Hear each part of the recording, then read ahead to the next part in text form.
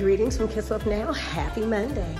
So today, hopefully you can stay dry because it definitely is raining. But what can you do today? Today you can be an angel on earth. Brighten someone's day, be there for them when you need them, and give them and share some encouraging words. Also today is National Pamela Day. So Pamelas are known for their sweet nature. They make good friends.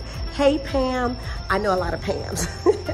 Last but not least, today is National Tooth Fairy Day. So fun fact, we've been celebrating the Tooth Fairy since the 13th century. So it's fair to say the Tooth Fairy has definitely accumulated their fair share of teeth. And where's the best place for the Tooth Fairy to come visit?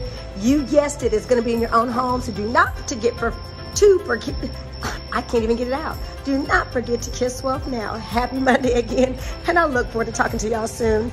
Bye. I need some coffee.